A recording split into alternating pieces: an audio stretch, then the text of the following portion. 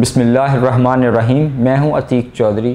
पाकिस्तान के सियासी हालात पर तो हम बात करते रहते हैं, मगर जिस बात को इस सारी सियासी गहमा गहमी इलेक्शन कमीशन का फ़ैसला, सुप्रीम कोर्ट का एक डिसीज़न वज़ी अला पंजाब का इलेक्शन, सुप्रीम कोर्ट में समात, इस सारे इशू में जो चीज़ दब के रह गई, वो है पाकिस्तान में बारिशों और सैलाब से तबाही। पाकिस्तान की सियासी अशराफिया जो अब तक सिर्फ़ मजमती बयान और फ़ोटो सेशन तक महदूद है। पाकिस्तान का अलमिया ये है, जब भी कोई नागहानी आफत आती है, हुक्मरान वहाँ पर जाते हैं, फ़ोटो सेशन करवाते हैं बयान देते हैं, मीडिया कवरेज होती है और इवेंट ख़त्म तो सब अपने अपने घर। वक्ती तौर पे दो चार दिन मीडिया पे भी डिबेट होती है, मगर उसके बाद इशू दब जाता है। ये सूरत हाल पाकिस्तान में गुज्त काफ़ी बरस से है। ये बारिशें और सैलाब की वजह से तबाही कोई पहले साल नहीं हुई। इससे पहले भी बहुत ज़्यादा तबाही हुई। अगर हम इसका जायज़ा लें तो पाकिस्तान का सबसे बड़ा मसला, जो हमने मुख्तलिफ़ रिसर्च रिपोर्ट्स भी देखी हैं, जो स्टडी की है, उसके मुताबिक डंग टपाऊ पॉलिसियाँ हैं।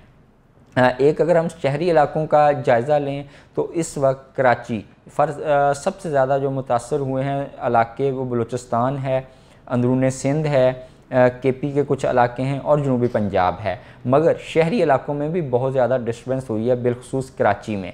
अगर हम बात करें देहाती इलाकों की तो इसका मसला ये है कि दरियाओं में चूँकि पानी खुश्क हो गया है तो बहुत ज़्यादा लोगों ने दरिया के बंद के अंदर या दरियाई एरिए की एक जो जून होता है, उसमें भी अपने मकानात बना लिए हैं, फ़सलें काश्त कर ली हैं।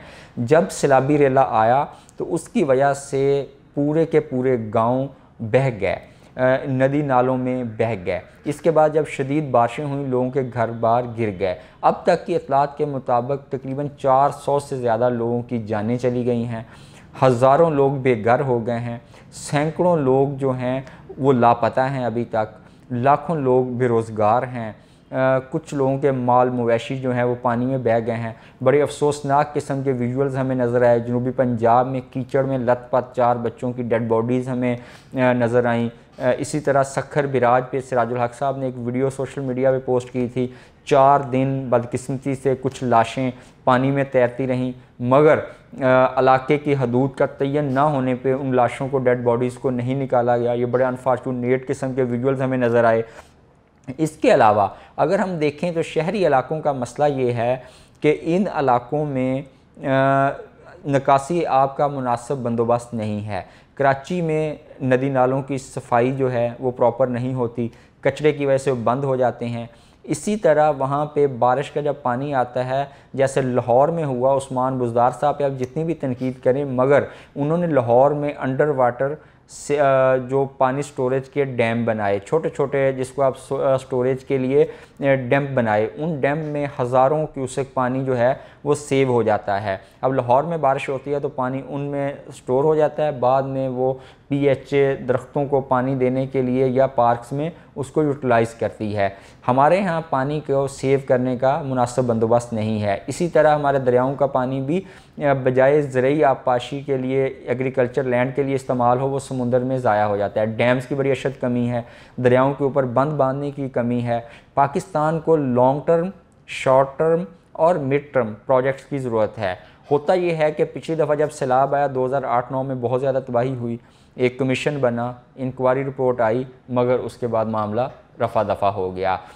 फिर हर साल सैलाब आता है कमेटी बनती है। अब भी शबाज शरीफ साहब ने एक कमेटी बना दी है। उस कमेटी में चौदह अगस्त को रिपोर्ट देगी, जिसमें शॉर्ट टर्म लॉन्ग टर्म और मिड टर्म प्लान का कहा गया है। मगर अनफॉर्चुनेटली हर साल ये होता है, नागहानी आफत आती है रिलीफ के इकदाम का ऐलान किया जाता है, मगर लॉन्ग टर्म उसके इंतज़ाम नहीं किए जाते। नागहानी आफत को रोका नहीं जा सकता, मगर डैमेज को कंट्रोल किया जा सकता है। अनफॉर्चुनेटली पाकिस्तान में वो भी नहीं होता डैमेज कंट्रोल के इकदाम भी नहीं किए जाते।